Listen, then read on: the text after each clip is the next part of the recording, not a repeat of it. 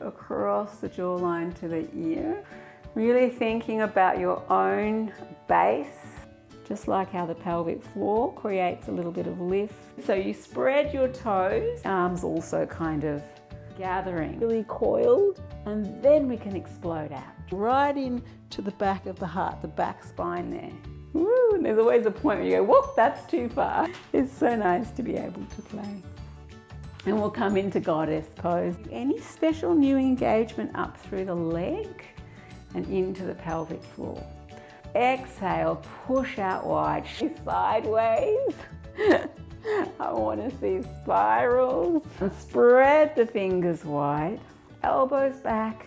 Really find that nice alignment of the, the cylinder of your ribs over the cylinder of your hips, which will give you a lift through the pelvic floor, support through the belly. And get ready to walk into your day. That's it.